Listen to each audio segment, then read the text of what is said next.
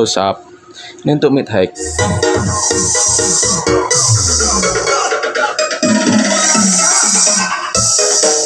Bismillahirrahmanirrahim. Assalamualaikum warahmatullahi wabarakatuh. Masih Selamat sore karena saya bikin videonya sore ya. Mungkin teman-teman nontonnya pagi, siang, malam Bahkan sore juga Oke hari ini kita mau berbagi ya. Saya mau berbagi tentang bagaimana cara memodif untuk driver UVC B3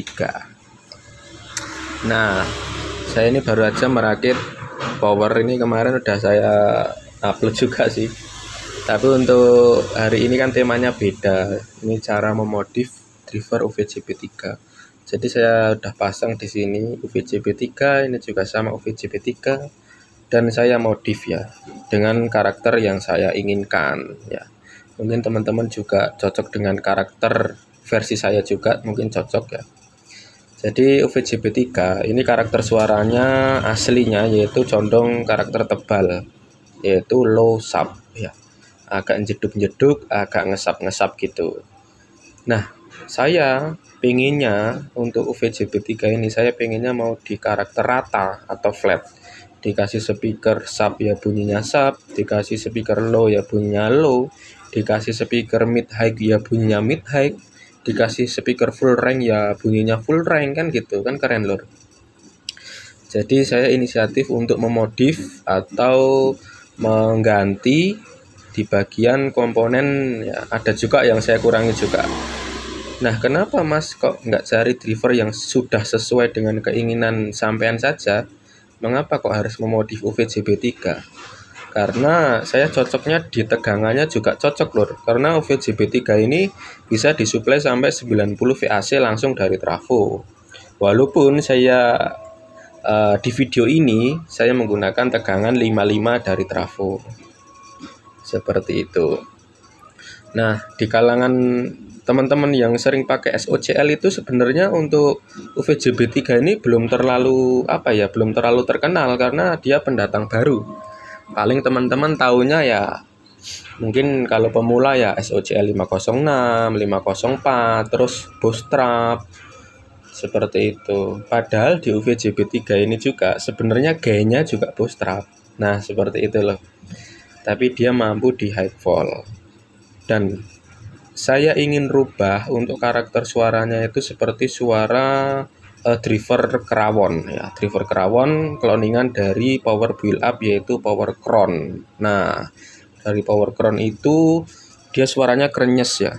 Dia memang agak jarang juga yang upload. Oke, kita langsung kasih tahu cara modifnya agar suaranya krenyes, flat dan tentunya mantap itu krenyit krenyit itu bunyi krenyit krenyit itu bego loh lagi ngaruk-ngaruk tanah di depan sana. Langsung kita kasih tahu ini nah, setengah jadi biar jelas. Daripada saya nunjuk-nunjuk yang ini kan rapat agak susah. Langsung aja saya kasih tahu untuk modifnya. Dan saya kasih tahu untuk uh, kenapa saya ganti di part itu ya lor nah di sini saya memodif di bagian uh, ini resistor merah ini. Ini nilainya 2K2 ya. Nilainya 2K2 yang semula adalah 5K6 mengapa saya modif di sini?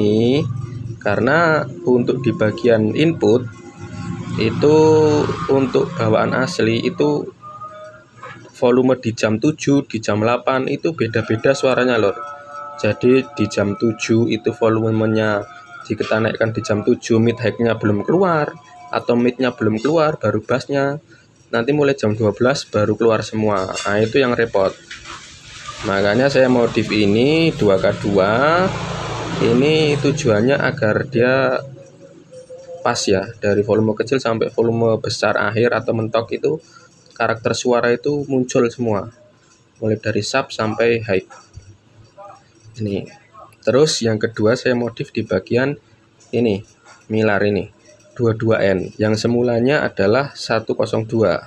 1 nano kita ganti menjadi 22 nanofarad. Ini ini hubungannya sama kayak ini.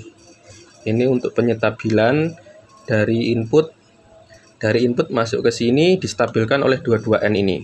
Nah, Oke. Okay.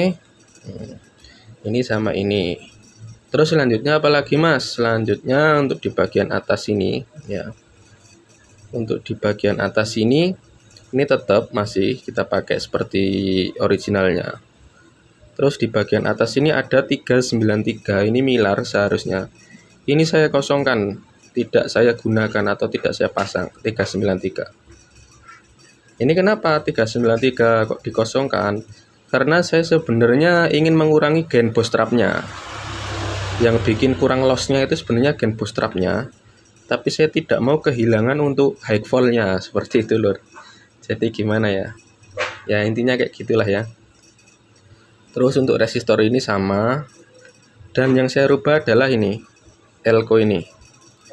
Nah, elko ini kita rubah menjadi 47 UF 50 volt itu ada apa komat sebentar lor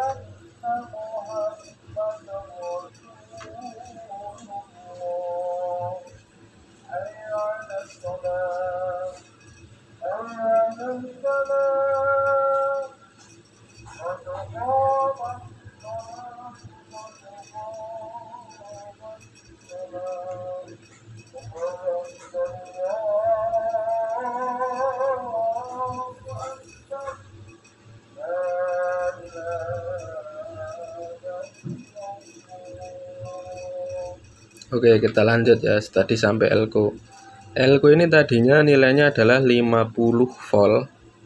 40 eh 50 volt 100 mikro. Ini. Nah ini saya ganti menjadi 50 volt 47 mikro. Kenapa kok 47 mikro? Sebenarnya kalau mau benar-benar flat itu bisa teman-teman ganti di 50 volt 22 mikro. Nah, tapi karena saya tidak mau kehilangan karakter uh, ini UVJ-nya yaitu tendangan bassnya tetap mantap ya saya menggunakan 47 kalau teman-teman mau flat sekali benar-benar flat sekali itu teman-teman bisa gunakan ini 50 volt uh, 22 mikro seperti itu. Jadi yang diganti tadi sih ini milar terus yang dua yang 5 ke 6 ini ya kita ganti 2 ke 2 dari 5 ke 6 ganti 2 ke 2 terus 102 atau 1 nano kita ganti 22 nano. Selanjutnya di bagian 393 di bagian tengah sini kita kosongkan. Terus yang di elko ini kita ganti 50 volt 47 mikro. Nah itu aja lor saya gantinya ya. Yang saya modif itu itu aja Nah, untuk lampu ini, lampu ini ya teman-teman bisa menggunakan 2K2 bisa, tapi kalau saya enggak saya ganti, saya tetap pakai 1K ini. Dua biji resistor kecil ini 1K dua biji ini saya tetap ganti. Ada juga yang diganti 2K2 biar enggak mudah putus ya. Tapi nyalanya kurang terang. Nah, saya tetap menggunakan 1K aja. Misal pun ini lampu mati ya buat saya enggak masalah lah yang penting suaranya mantap ya. Yang penting suaranya jos. Nah, untuk lampu signal bisa juga kita dari power ini udah ada lampu signal kalau saya. Jadi lampu di bagian driver ini saya nggak terlalu penting. Yang penting suaranya jos gitu aja dan nggak bermasalah. Nah langsung kita coba dengarkan untuk di bagian suaranya. Nah ini kan udah saya modif. Ini kita tinggal dengarkan suara dari power ini. Untuk sampai dari trafo itu 55 modifnya sama persis sama yang saya tunjukkan. Nah, ini pakai 2K2 juga ya. 2K2 22N terus untuk di bagian itu saya kosongkan. Ah nggak kelihatan lur. Intinya sama lur. Intinya sama. Oke untuk suaranya nanti tetap beda dari yang ori sama yang sudah saya modif. Lebih kerenyes yang saya modif ini. Ya itu selera sih kalau yang orinya kan memang tebal losap. Ya kalau teman-teman suka losap yang lebih menonjol ya mungkin juga lebih puas yang ori gitu ya. Kalau saya sukanya yang flat jadi nanti kita main aksesoris dari mixer ataupun crossover itu tetap enak. Bisa diatur dan tentunya suaranya bisa kerenyes oke kita akan hidupkan dulu untuk powernya ini untuk kita tes suaranya kalau yang teman-teman kalau mau mendengarkan suara sebelum dimodif itu ada di video saya sebelumnya. Di link deskripsi saya kasih linknya di situ. Teman-teman tinggal nonton aja suara aslinya kayak gitu. Nah ini suara apa namanya suara yang sudah dimodif. Ini kita akan uh, coba Oke ya dulur, jadi langsung kita tes saja untuk di bagian suaranya. Jadi yang sebelah kiri ini saya gunakan untuk di bagian speaker low sub ya. Itu speakernya di bawah sana. Nah, itu box biru ini. Terus yang di sebelah kanan ini ini kita untuk mid high speakernya itu kecil itu. Itu saya pun pakai satu biji ya, yang sebelah sini aja. Yang ini nggak dipakai jadi nanti kita pindah juga ya. Jadi suaranya itu ketika kita dikasih speaker low sub ya suaranya low sub nanti kita speaker mid high ya suaranya mid high jadi driver ini menyesuaikan. Kita sudah setting lagunya di sini. Punya Mas Ibli BDL izin Mas kita untuk praktek ya. Nah teman-teman bisa dengarkan pakai handset ya. Ini untuk suara di low subnya close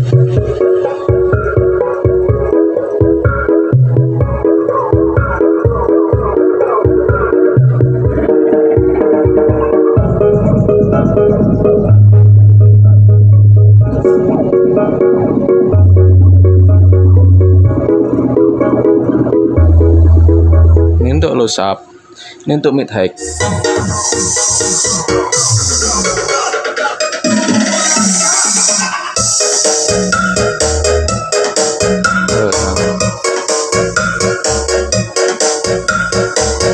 jadi bisa. Dua karakter ini bisa. Untuk low up bisa untuk mid high bisa. Dibalik pun sama. Ini nanti bisa low up kalau speakernya low up bisa mid high nanti kita coba. Kita dua-duanya kita putar dulu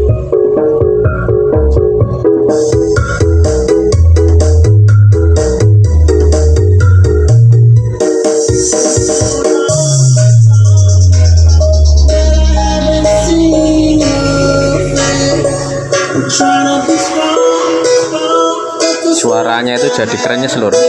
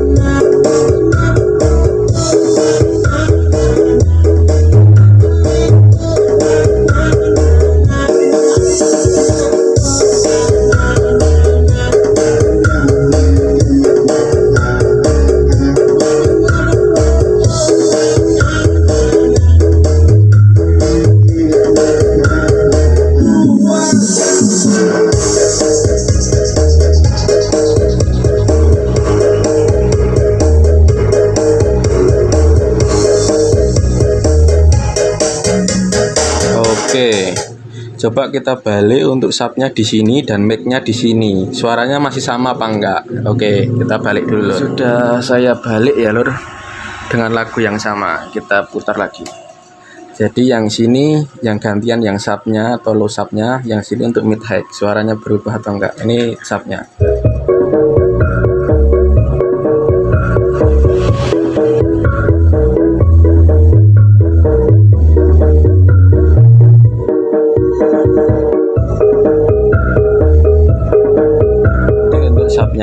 Ini mid high-nya gantian di sini.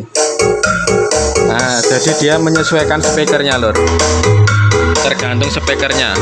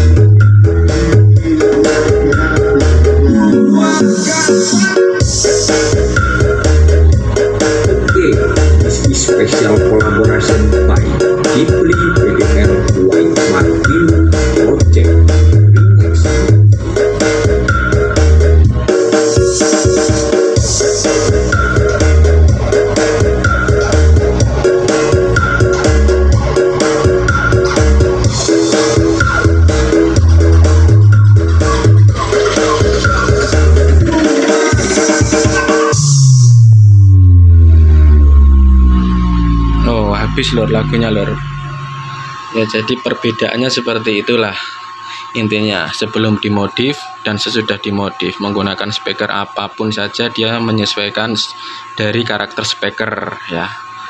Gimana lor? Ada yang mau niru modifan saya? Monggo saya sudah kasih tahu tadi. Oke cukup segitu saja ya. Wassalamualaikum warahmatullahi wabarakatuh